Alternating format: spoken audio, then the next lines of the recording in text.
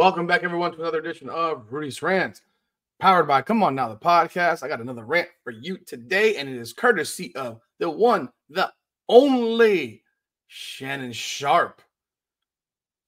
But before we jump in, thank you so much for your continued support of our channel. Be sure to like, subscribe, and follow. Become a member of the Come On Now, the podcast family as we continue to grow this bad boy and get closer and closer to 4,000 subscribers. We thank you so much. Let's jump on in. If you don't recall, a couple months ago, Monica McNutt from ESPN and Carolyn Peck from ESPN gave their take on who they thought the rookie of the year was and their created criteria for rookie of the year. Monica McNutt, her criteria was the team with the better record will win the rookie of the year. Well, on that day, the Indiana Fever were, I believe, a half game or a game behind the Chicago Sky that day. Because the day before, or two days before, Indiana was ahead of the Chicago Sky. So now, a couple days later, now she comes out with her take of, well, you know, it'll be the record, team record, because that's what's most important. Not performance, but the actual team record. So, within a couple days after that, Indiana has now passed the Chicago Sky. And as you know, by this point, they are well past the Chicago Sky, I believe like five games ahead of them it's five or six. They're 17 and 16. The Sky, I think, is 11 and 20 or 11 and 21. So there is a large gap between the two teams. So where has Monica McNutt gone? She is this she I don't watch first take as much as I used to. I used to watch it almost daily but because of the Monica McNutts, the Drea Carters, the Chiney Ogwumike's, and the Carolyn Peck types, and, the, and, and even Molly Qerim, who was just becoming nails on chalkboard as she's jumping into conversations when her job is to moderate, not have an opinion on a topic. No one's no one's asking for your opinion, Molly. I hope you understand that. That's why they have experts who actually played these sports or coach these sports on there and you didn't and you haven't, so nobody cares what you think. Maybe some people do. But right now, Indiana is 17 and 16. The Sky is 11 and 21. They are five and a half games ahead of the Chicago Sky.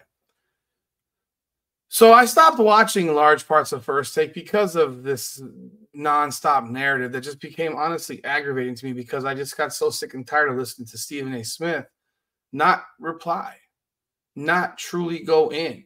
He always, he's never had a problem going in on men, but he won't go in on women.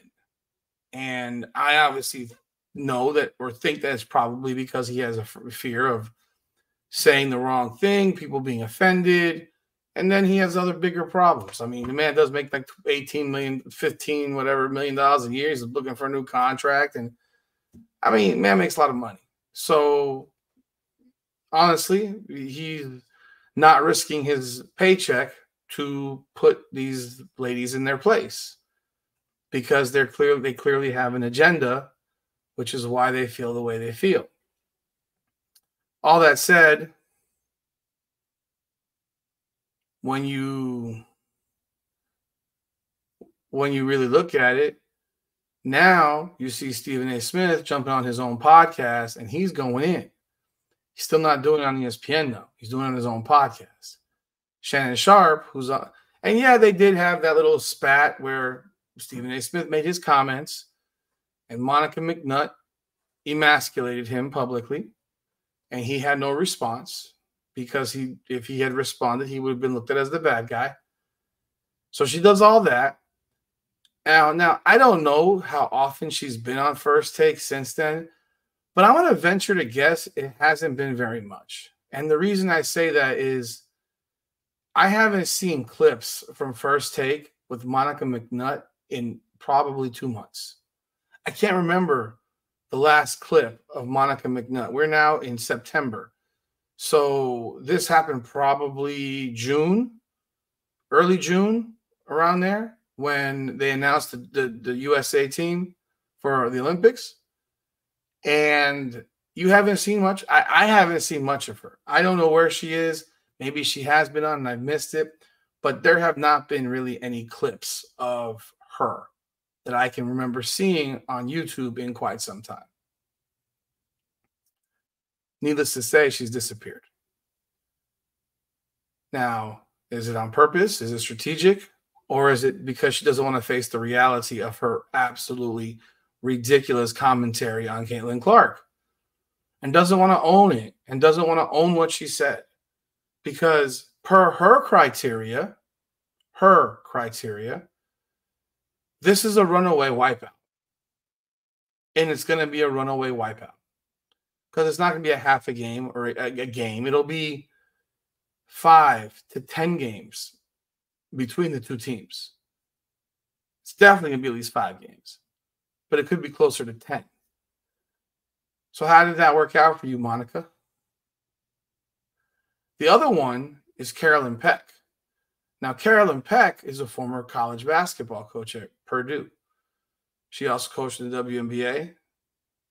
And she her commentary was based on efficiency.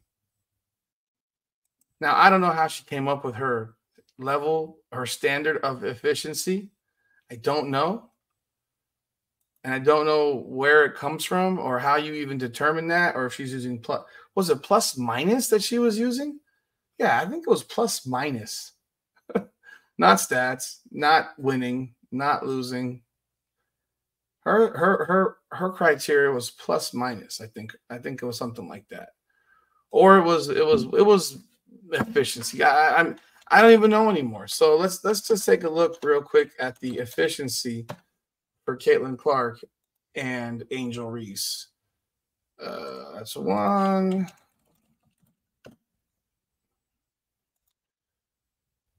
So Caitlin Clark's PER is 18.9 and Angel Reese's is 17.2. Is that the efficiency we're talking about? Because PER is a ranking system for players for efficiency. As far as I know, as far as I can remember, that was an that's an efficiency standard. Um, Let's see where else we can look at something like this. Let's see here.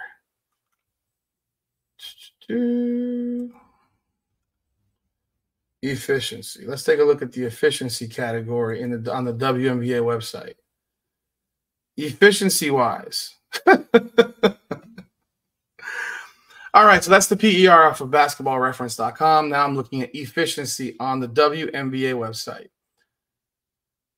Caitlin Clark's efficiency rating is the highest for any guard in the WNBA. Number one is A'ja Wilson. Hers is like way over the top, 34.8. Napheesa Collier is second at 25.6. Breanna Stewart is 25.2. Nneka Ogwumike is 21.9. Jonquel Jones, 21.6. And next on the list is Caitlin Clark at 20.9. She has the highest efficiency of any guard in the league. Number the second guard is number 10 is Arike Ogunbowale. And then for the next guard, you got to go down to 15 at Sabrina Ionescu at 18.5. Angel Reese's efficiency is 18.9. So again, we have now two people who have created two different metrics to determine who their rookie of the year was. And Shannon Sharpe gave his opinion on this. So how about you here come take a look at this one? Listen to what Shannon Sharpe had to say.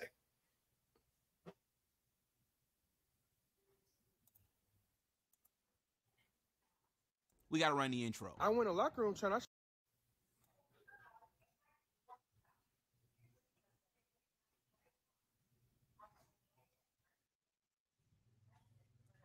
So 17% of the WNBA's flagrant fouls this season have been committed against Caitlin Clark. Hey. Ocho. Yes, sir. 17% Yeah. of the WNBA flagrant fouls have been committed Mm. against Clark. The Chicago Sky were responsible for 80% of the flagrant fouls committed against Clark. But you know what, Ocho? It's the great white high. There's nothing, Shannon. You just want to support that white girl. She busting y'all ass. Hey, there were some women. I ain't gonna call y'all name. Y'all had a lot to say. Y'all even tagged me. I, why y'all tagging me? Somebody say something to y'all. Y'all tag me. Who that? Who that? I ain't gonna call a name. I ain't gonna get into it. I I I ain't I, I ain't petty like Right. that. But hey, ladies, when people say things to you, God, I, I don't think you should be what they say, call you all kind of names. Right, right. I don't believe nobody should be called out of the Right. names. But I don't know why when somebody address y'all, y'all feel y'all need to tag me.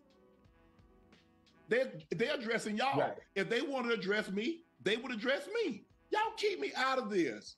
Y'all keep me out of this. Y'all said what y'all said, but I'm just trying to figure why y'all lump me into no, no, they talking to y'all. They talking to me.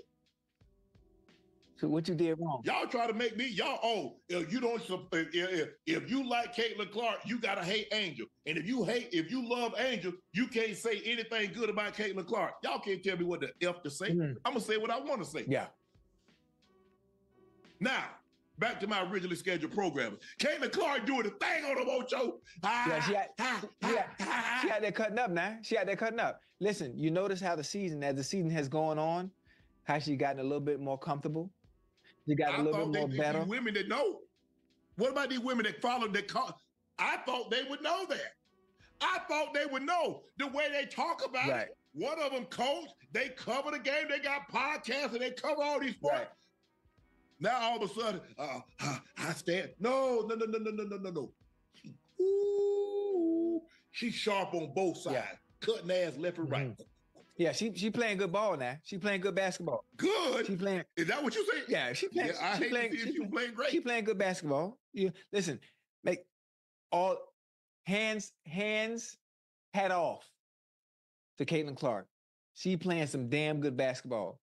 She is. She is. She, but she's a good player, Ocho. Yeah. And if, if if if you set aside the fact Mhm.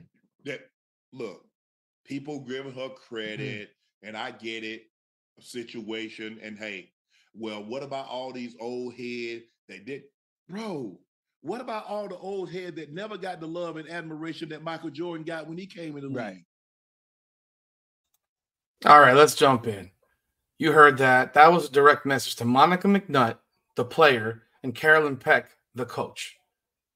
He took abuse from them, especially McNutt on ESPN. So they're tagging him on stuff. That's crazy to me. I, I'm, I'm. Is it shocking? Nah, but it's is it. But but yeah, they're tagging him on stuff he's telling you. Shannon Sharpe told you like it is. Now I wish he would do that as well on first take when he's on ESPN, but I guess he can't do that as well. But that was a direct message to Monica McNutt and Carolyn Peck. You had a lot to say, a lot of things that you came out your mouth two months ago, even when they were ridiculous two months ago. Now they look utterly outrageous. So you were ridiculous two months ago. Now you look like a complete clown. And that's why both of y'all have pretty much disappeared off of anything WNBA related. Because I have not seen Carolyn Peck nor Monica McNutt since the All Star break. Was McNutt on the All Star break at the All Star game? I don't even know. Carolyn Peck, I remember being on the, I think she was on the desk. But I haven't heard from Monica McNutt in a minute. They have been invisible, MIA. They went AWOL, absent without leave, because they are not going to say, I was wrong. It's just the way it is. They've been called out by Stephen A, by Shannon Sharpe, and they cannot take it. And so what do they do? They take their ball and they leave. And instead of saying, I was wrong about this particular topic, they take their ball and leave. Let me know what you think. I want to hear what your comments about Shannon Sharpe's commentary and where the hell's Monica McNutt and Carolyn Peck? Where have they been? Will we hear a response from them? I think I got to go follow them now on Twitter, X, Instagram, whatever, to see if they have a response. Because if they're gonna like Sheryl Swoopes has been doing in response to everything, they will have something to say. I hope they do because this will be fun. Leave a comment, like, subscribe, follow, join our family. Come on now.